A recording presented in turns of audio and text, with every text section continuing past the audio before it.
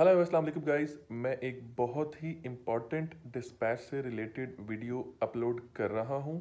इस वीडियो को मिस मत करना, इसको शुरू से एंड तक देखना आप लोगों को बहुत फ़ायदा होगा स्पेशली फॉर बिगनर्स ये वीडियो जो अभी डिस्पैच में एंटर हुए हैं, जिन्हें बेसिक इन्फॉर्मेशन भी नहीं है, या जिन्हें थोड़ी बहुत इन्फॉर्मेशन है, इस वीडियो में आपको कंप्लीट इन्फॉर्मेशन मिलेगी। तो इस वीडियो को मिस मत करना, इस वीडियो को एंड तक देखना। आपको सारी इन्फॉर्मेशन मिल जाएगी। ऑल इन वन सोल्यूशन है ये वीडियो इसमें ए टू जी सारी इन्फॉर्मेशन है विद डॉक्यूमेंट ये डॉक्यूमेंट मेरे पास काफ़ी टाइम से पड़ा हुआ था और पता नहीं मुझे किसी ने शेयर किया था। उसने कहा कि खुरम भाई मैंने एक पूरा एक मेथड बनाया, मैं आपको शेयर करता हूँ। ये वीडियो ये डॉक्यूमेंट बहुत अच्छा था।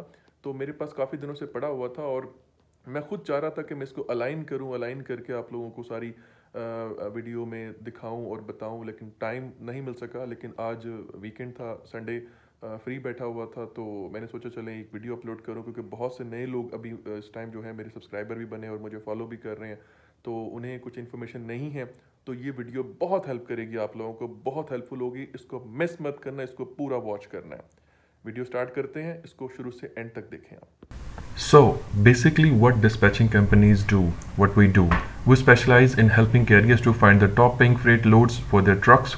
Our dispatcher negotiate the highest rates and inform the carriers for option to make the final decision.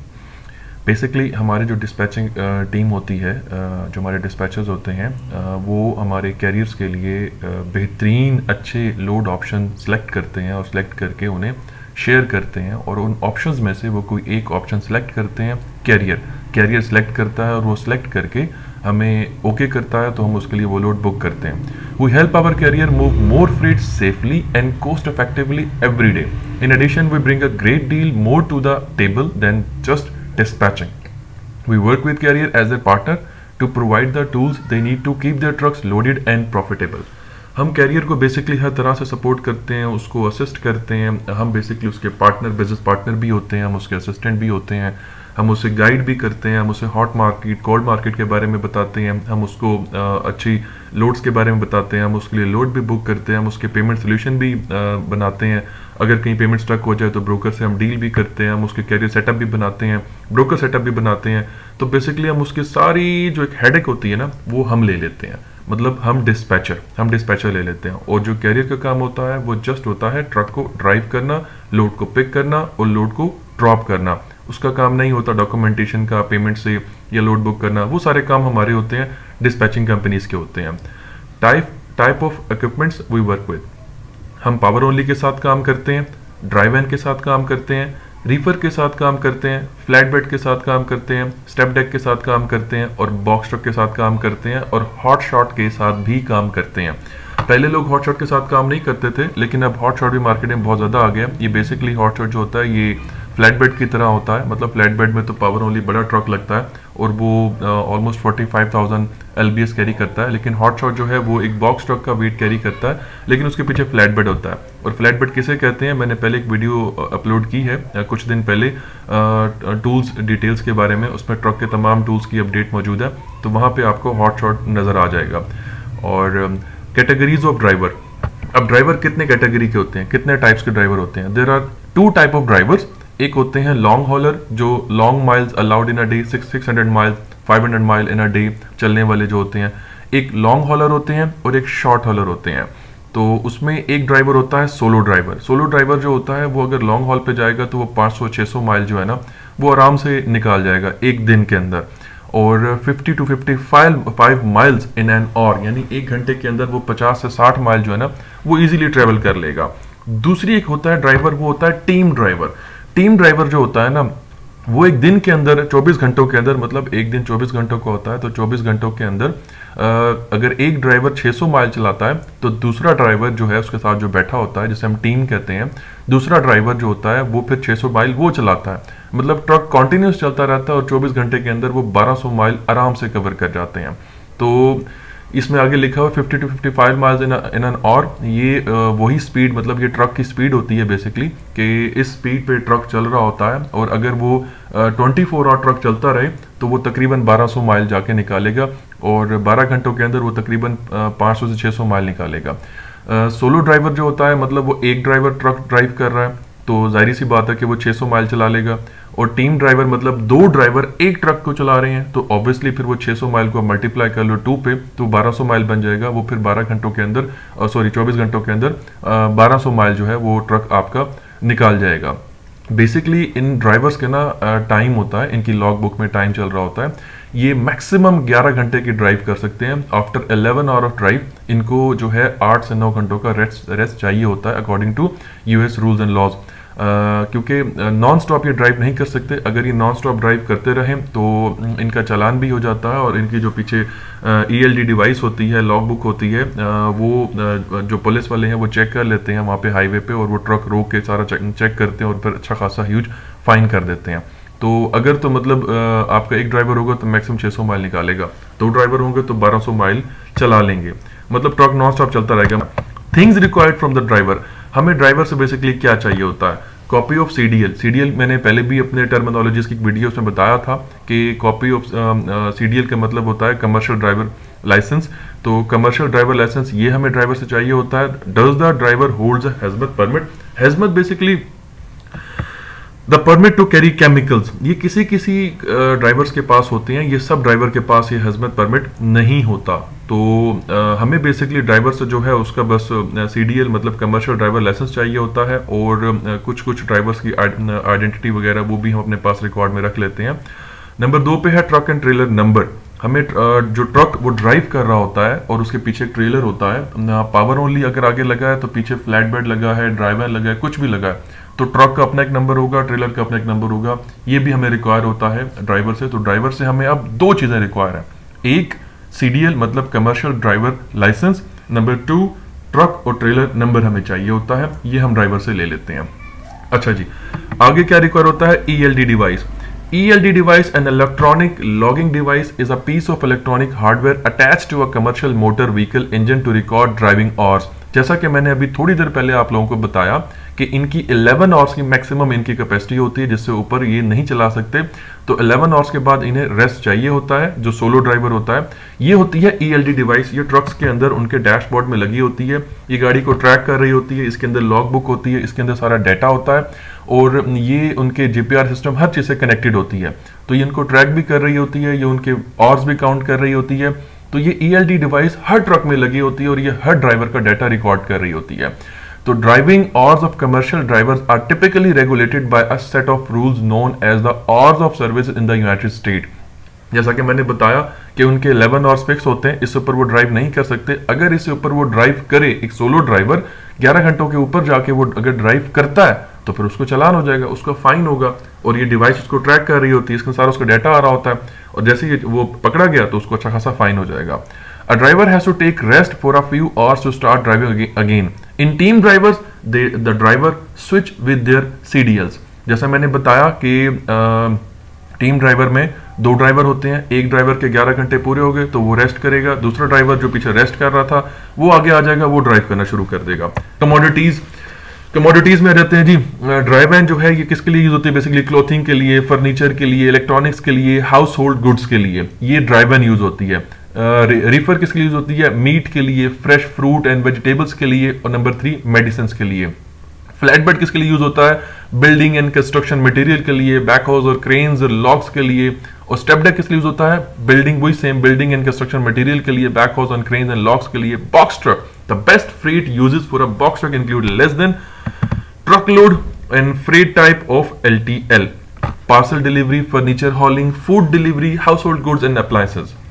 ये बॉक्स ट्रक में बेसिकली कैरी होते हैं ये सारी चीज़ें मतलब drive van reefer flatbed step deck box truck में कैरी होती हैं और हम हॉट शॉट भी चलाते हैं। हॉट शॉट पे बड़ा अच्छा फ्रेट बनता है। लॉन्ग वॉलर अगर हॉट शॉट मिल जाए तो वो बड़ा अच्छा कमा के देता है। हॉट शॉट के पीछे फ्लैट बेड होता है। आगे वीगो डाले लगे होते हैं, जो पाकिस्तान में हम लोग वीगो बड़े चौधरी बन के चलाते हैं। ये वीगो डाले लगे होते हैं और पीछे उनके ये फ्लैट बेड लगे होते हैं और वहाँ पे लोड खींचते हैं। अच्छा पेमेंट पेमेंट मोड क्या होता है? There are three payment methods number one standard payment carriers get paid in thirty days standard payment जो होती है, इसमें यह है कि मतलब आपने एक ब्रोकर से लोड उठा लिया। लोड उठाने के बाद आप उसे कहें, जब आप लोड बुक करते हैं तो कैरियर आपसे पूछता है कि आपने कौन सी पेमेंट मोड लेना है तो उसमें अगर स्टैंडर्ड पेमेंट की तरफ़ आप जाते हैं तो 30 दिन के बाद आपको ब्रोकर पेमेंट करेगा आपके अकाउंट में, जो कि 95 परसेंट कैरियर इसको अवॉइड करते हैं। वो कहते हैं, हमें पेमेंट फौरी चाहिए क्योंकि हमने डीजल डलवाना है, गाड़ी की मेंटेनेंसेज ऑयल चेंज ट्यूनिंग्स और घर के खर्चे एक्सपेंसेस उनका रहना, खाना, पीना, सब कुछ पैसों पे चल रहा होता है।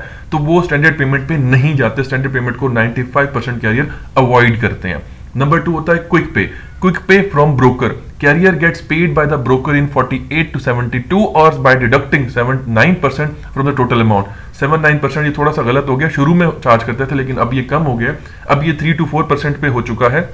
क्विक uh, पे होता है बेसिकली कि जल्दी पे करना मतलब ब्रोकर कैरियर को विद इन ट्वेंटी फोर और या फोर्टी एट और या सेवेंटी टू और टू और थ्री डेज़ में पेमेंट कर देता है। मतलब अगर हज़ार डॉलर का लोड हमने ब्रोकर से बुक किया है और जब हम ब्रोकर का लोड ड्रॉप कर देते हैं तो ब्रोकर एक दो दिन के अंदर हमारी पेमेंट अपने तीन या चार परसेंट कमीशन जो कि बन जाएगा हज़ार डॉलर का ऑलमोस्ट थर्टी फोर्टी डॉलर वो अपने काटेगा और बाकी पेमेंट जो है वो कैरियर के अकाउंट में डिपॉजिट कर देगा विद इन टू और three days factoring company factoring company basically financial institute होती है। ये सबसे बेस्ट तरीका है पेमेंट लेने का। आ, कुछ ब्रोकरेज कुछ क्या तकरीबन बहुत सारी ब्रोकरेज हैं जो फैक्टरिंग कंपनी से रजिस्टर्ड होती हैं। कैरियर भी फैक्टरिंग कंपनी से रजिस्टर्ड होता है। जब हम लोड बुक कर लेते हैं लोड बुक करने के बाद लोड हम ड्रॉप करते हैं ड्रॉप करने के बाद हम उसका पीओडी प्रूफ ऑफ़ डिलीवरी और उसकी तमाम चीज़ें, उसका बिल ऑफ़ लेडिंग बोल और हम उसकी आरसी वगैरह, ये सब चीज़ें हम फैक्टरिंग कंपनी को सेंड करते हैं और हम कहते हैं कि हमने इस ब्रोकर का, फला ब्रोकर का ये लोड हमने बुक किया था और ये हमने लोड ड्रॉप कर दिया है। तो हमें फिर फैक्टरिंग कंपनी उस ब्रोकर के बिहाफ पे विद इन अ डे मतलब एक और दो दिन के अंदर हमें सारी पेमेंट जो भी हमारा लोड की टोटल अमाउंट हमने जो उस ब्रोकर का लोड बुक किया था, हमने हज़ार डॉलर का तो वो हज़ार डॉलर वो जो फैक्टरिंग कंपनी है, वो हमें फौरी तौर पे कैरियर के अकाउंट में डिपॉजिट कर देती है और उसका वो दो से तीन परसेंट चार्ज करती है। मतलब वो भी बीस तीस डॉलर काटेगी और फौरी तौर पर पेमेंट कर देगी। तो तीन पेमेंट्स होती हैं standard payment quick pay factoring company factoring company को मोस्टली 95 परसेंट जो कैरियर है, वो फैक्टरिंग कंपनी को प्रेफरेंस देते हैं। ये जरा सेफ़ वे होता है पेमेंट लेने का। Our services negotiating top paying rates depends upon the market rate the best rate we can get number two our services mean dispatcher services dispatching companies की जो सर्विसेज़ कि हम क्या सर्विसेज़ देते हैं, हम, हमारा क्या काम है। नेगोशिएटिंग टॉप पेइंग रेट्स मैंने बता दिया। सेटअप पेपर वर्क यानी पेपर वर्क हम उसका सारा कैरियर करते हैं। Agreement between broker and carrier liable to pay in damage Number three, fax, email and documentation provide stuff etc when the driver is not in reach. जितनी ज़्यादा services आप दे सकते हैं अपने कैरियर को एक डिस्पैचर दे सकता है वो देता है फिर उस हिसाब से कैरियर और डिस्पैचर की परसेंटेज भी डिसाइड होती है। मतलब एक डिस्पैचर कहता है कि मैं सिर्फ़ लोड बुक करूँगा पेमेंट शेमेंट के काम करवा दूँगा, आपको ब्रोकर से पेमेंट्स करवा दूँगा। तो वो जो है ना अपना, उसके लिए फिर उसकी वो परसेंट डिसाइड होगी। लेकिन कुछ जो ट्रकिंग कंपनीज़ होती है, जिनके पाँच पाँच दस दस ट्रक होते हैं तो वो डिस्पैचर्स और डिस्पैचिंग कंपनी कहते हैं कि तुम मेरी कंपनी का सारा काम करोगे, मेरे लॉग्स भी सारे बनाओगे, मेरे पेमेंट्स पेपर वर्क भी सारे बनाओगे, मेरी पीछे फैक्टरिंग से कुछ लोग हैं, ऐसे डिस्पैचिंग कंपनीज़ हैं जो अपने कैरियर को फुल फ्लेज पूरी सपोर्ट कर रहे हैं जस्ट लाइक like, मतलब कि ऑनर सिर्फ़ मज़े कर रहा होता है वहाँ कुर्सी पे झूला झूल रहा होता है और अपने ट्रक्स की मेंटेनेंस वगैरह और ऑयल चेंज वगैरह देख रहा होता है। और बाकी जो उसकी सारी उसके सारे काम है लोड बुकिंग और ब्रोकरेज और पेमेंट्स और पीछे फैक्टरिंग कंपनी इंश्योरेंस हर चीज़ वो डिस्पैचिंग कंपनी देख रही होती है तो उसके हिसाब से फिर वो परसेंटेज भी चार्ज करते हैं ठीक है? तो ये सर्विसेज़ जो बेसिकली है वो हम लोग प्रोवाइड करते हैं कैरियर को। Documents required from the carrier and by the broker at times हमें जो कैरियर से डॉक्यूमेंट्स चाहिए होते हैं ब्रोकर के लिए, वो एमसी अथॉरिटी बहुत से लोगों को पता है मोटर कैरियर अथॉरिटी होती है W nine form for E I N employer identification number number three C O I certificate of insurance यानी जो कैरियर का ट्रक होता है, उसकी जिस कंपनी से इंश्योरेंस हुई होती है, और कितनी अमाउंट की इंश्योरेंस हुई होती है, उसका एक लेटर उसे मिलता है इंश्योरेंस कंपनी की तरफ़ से, वो उसे हम मांगते हैं। Notice of assignment from factoring company जैसे मैंने बताया कि फैक्टरिंग कंपनी क्या है? फैक्टरिंग कंपनी जो हमें पेमेंट करती है within a day twenty four hour में जो पेमेंट करती है अपने परसेंटेज काट के तो उसका एक लेटर इशू होता है। कैरियर को नोटिस ऑफ़ असाइनमेंट से कहते हैं एनओए वो हमें चाहिए होता है। और वॉइडेड चेक जो हमें चाहिए होता है कैरियर से कैरियर के पर्सनल अकाउंट नंबर का एक चेक होता है, वो उसका चेक हमें चाहिए होता है, उस पर उसका अकाउंट नंबर लिखा होता है फॉर क्विक पे यानी सपोज़ अगर उस कैरियर की फैक्टरिंग कंपनी से रजिस्ट्रेशन नहीं है तो फिर सेकंड पेमेंट मोड होता है हमारे पास कि हम ब्रोकर को कहेंगे कि हमें क्विक पे के थ्रू पे करे और क्विक पे में ब्रोकर हमसे उस कैरियर का अकाउंट नंबर माँगता है। वो अकाउंट नंबर हम उसको देते हैं जिसमें उस अकाउंट में वो पेमेंट ट्रांसफ़र करता है। तो ये डॉक्यूमेंट्स हमें कैरियर से चाहिए होते हैं। एमसी अथॉरिटी एमसी अथॉरिटी का जो लेटर होता है ना, उसकी शेप इस तरह से होती है। मतलब जो एमसी अथॉरिटी लेटर आपको कैरियर शेयर करेगा, वो इस तरह का लेटर आपको शेयर करेगा। इसमें देखें, दरमियान में लिखा सर्टिफिकेट नीचे MC zero zero zero one ये एक एग्ज़ाम्पल एक फॉर्मेट है।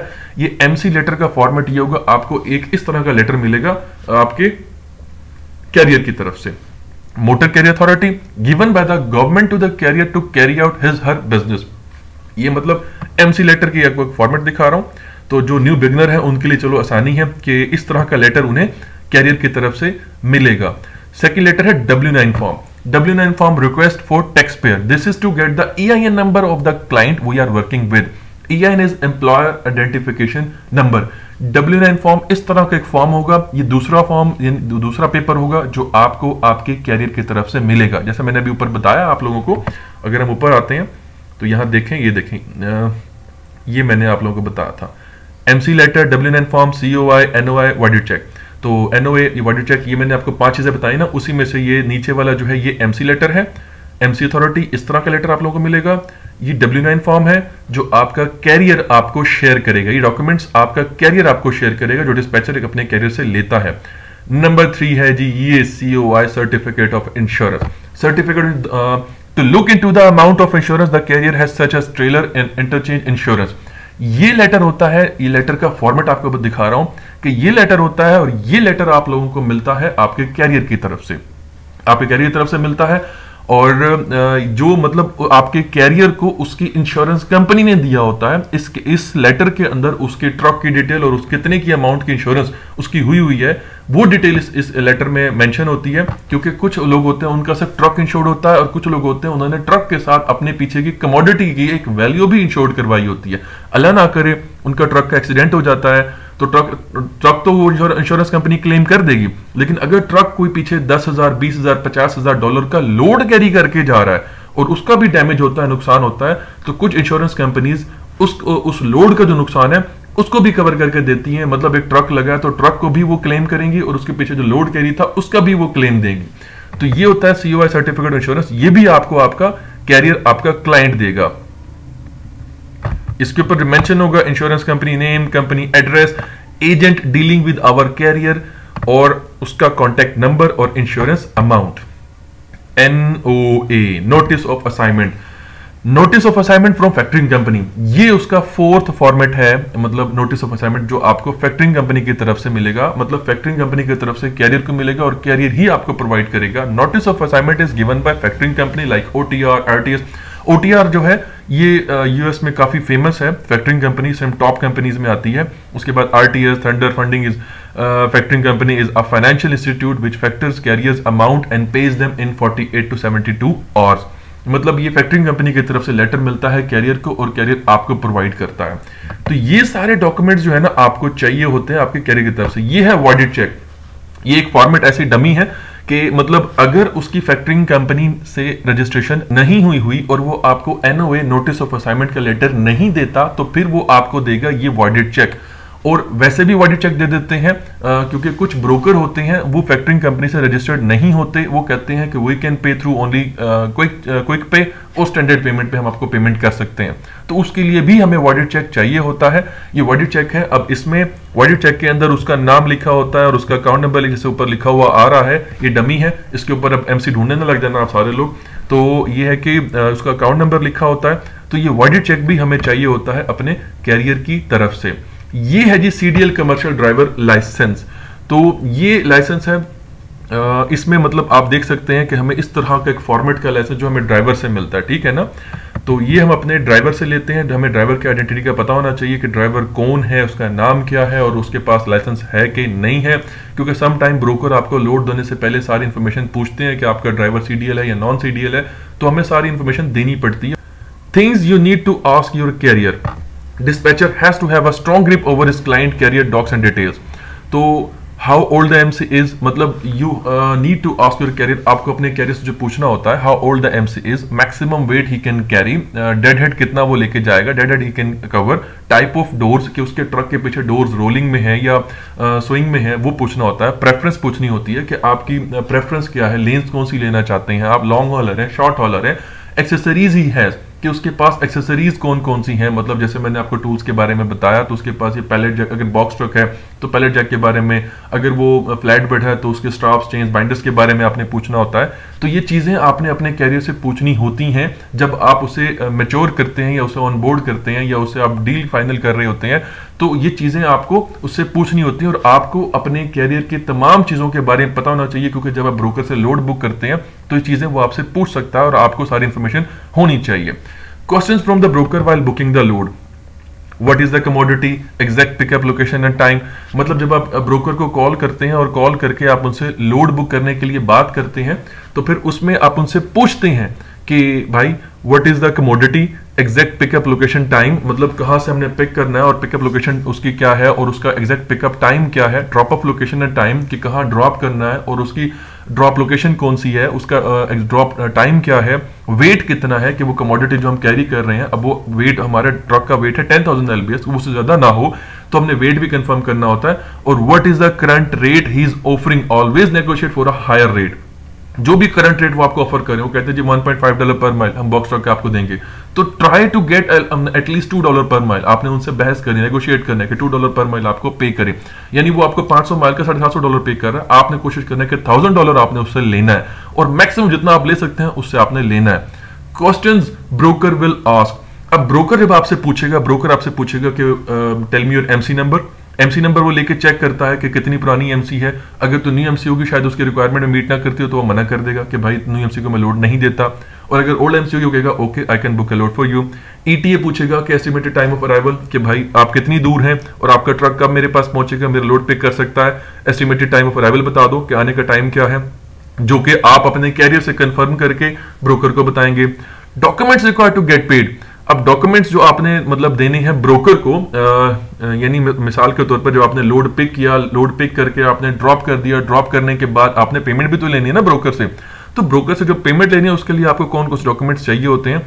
रेट कंफर्मेशन जो आपको ब्रोकर ने दिया होता है, जब आपका लोड और डील ब्रोकर से फाइनल होती है, वो एक आरसी आपको देता है रेट कंफर्मेशन वो रेट कंफर्मेशन आप ब्रोकर को भेजेंगे, या फिर फैक्ट्री कंपनी को देंगे, या फिर क्विक पे के लिए देंगे, जो भी पेमेंट मेथड आपका होगा, उस रेट कंफर्मेशन के ऊपर रेट लिखा होता है ब्रोकर की तरफ़ से कि उसने आपको थाउज़ेंड डॉलर देना है तो वो देंगे बिल ऑफ़ लेडिंग यानी जो आपने लोड जाके पिक किया था तो वहाँ से एक आपको पेपर मिलता है बिल ऑफ़ लेडिंग वो आपने उसके ऊपर वहाँ पे शिपर आपको साइन करके देता है, जी लोड मेरा पिक हो गया।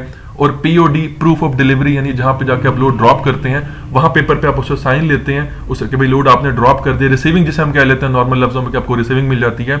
और NOA voided check to get his payment अगर तो फैक्टरिंग है तो फिर एनओए चाहिए होगा। और अगर वो फैक्टरिंग नहीं है तो वॉडिड चेक चाहिए होगा आपको क्विक पे के लिए।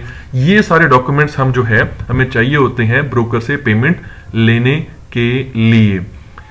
ये है जी रेट कंफर्मेशन का फॉर्मेट ये रेट कंफर्मेशन का फॉर्मेट है। आ, मतलब इस तरह का एक लेटर रेट कंफर्मेशन जब आप ब्रोकर से लोड बुक कर लेते हैं और लोड बुक करने के बाद आपको एक रेट कंफर्मेशन इशू होता है। रेट कौन जो आपको इशू होता है? यही रेट कंफर्मेशन फिर आपने अपने कैरियर को आगे सेंड करना होता है कि भाई तेरा लोड बुक हो गया इसके ऊपर अमाउंट लिखी हुई है। इसके ऊपर पूरी इंस्ट्रक्शंस लिखी होती हैं कि कमोडिटी क्या है कहाँ से पिक करना है किधर ड्रॉप करना है। तो सारी डिटेल लिखी होती है और एंड में इस पे मेन चीज़ होती है, वो है फ्रेट मतलब प्राइस चार्जेस जो आपने ब्रोकर से लेने हैं, वो भी इसमें मेंशन होते हैं। ये रेट कंफर्मेशन हमें चाहिए होता है पेमेंट के लिए। ये है जी bill of lading bill of lading आपको मिलता है बेसिकली जब आप लोड पिक करते हैं, उस पर documents carrier receives once the power unit truck is loaded with commodity जब आप अपने ट्रक को मतलब आपका जो कैरियर है, आपका जो कस्टमर है, जब वो लोड कैरी कर लेता है तो उसको डॉक्यूमेंट रिसीव होता है वेट ऑफ़ कमोडिटीज पे लिखी होती है pickup location drop off location check in check out time ये दोनों चीज़ें इसके ऊपर हर चीज़ मतलब मेंशन होती है बिल ऑफ़ लेडिंग आपको लोड कैरी करते हुए आपको ये बिल ऑफ़ लेडिंग मिलता है।